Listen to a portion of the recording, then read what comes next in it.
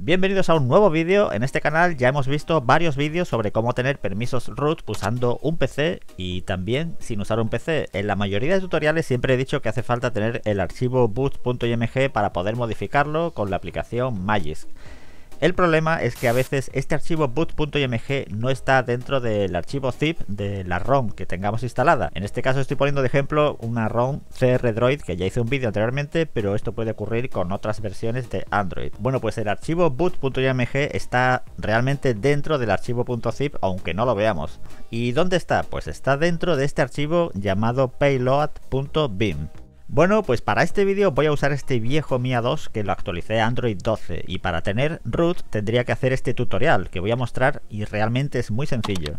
Lo primero que haremos, vamos a ir al enlace que dejaré en la descripción del vídeo y descargamos un pequeño archivo .zip que ocupa muy poco y lo vamos a descomprimir con el explorador de archivos que se llama Z-Archiver. Así que pulso en extraer y lo situamos en la raíz del almacenamiento. Esto creará una carpeta llamada payload dumper y dentro tiene tres archivos, pues bueno, lo dejamos ahí de momento y ahora nos vamos al archivo que contiene la ROM, que suele estar comprimida en formato .zip. Así que le damos aquí en ver y vemos que está payload.bin, así que hacemos una pulsación larga sobre este archivo y lo vamos a pegar en la carpeta que he creado hace un momento. Así que abro la carpeta payload dumper y lo pegamos dentro. Este archivo payload tiene una tasa de compresión muy alta y en mi caso pesa un GB, pero luego veréis que cuando lo hayamos descomprimido ese GB se multiplica por 5, es decir que realmente ocupa 5 GB el contenido de los archivos que tiene. Bueno, dejamos el archivo en la carpeta y vamos a Play Store y descargamos la aplicación PDroid 3.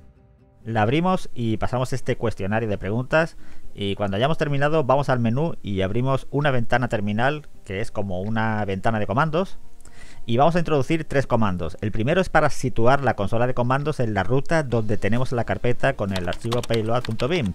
Entonces ponemos cd payload dumper y pulsamos intro. El siguiente comando es para instalar una dependencia necesaria. El comando sería pip install protobuf. Si luego cuando termines este tutorial quieres desinstalar esta dependencia, teclea pip uninstall protobuf y se desinstala. Seguimos con el tercer y último comando que es pthon payload payload.bin y con este comando comenzaría a aparecer en la ventana el nombre de los archivos que contiene payload.bin y esto tardaría dependiendo del tamaño del archivo y también depende del hardware del teléfono que con este Mia 2 tarda un buen rato.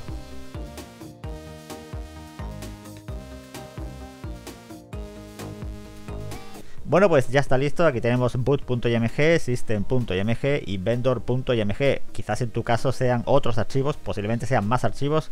Fijaos que system y vendor ocupan 5 GB.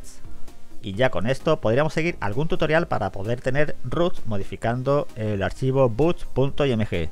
Bueno, pues espero os haya servido. Me despido. Hasta un próximo vídeo.